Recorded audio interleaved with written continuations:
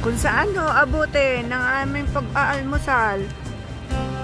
Lockdown po, lockdown. Thank you, Lord.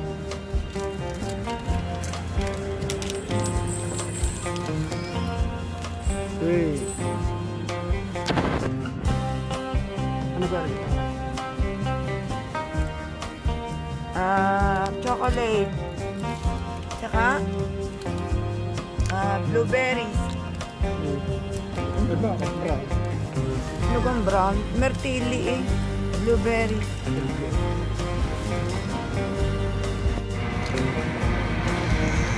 Ang cute. Ang cute po. Chocolate.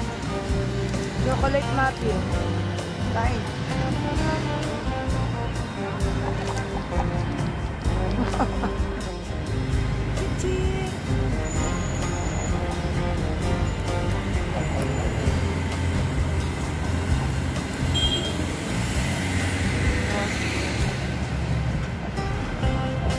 Salamat po.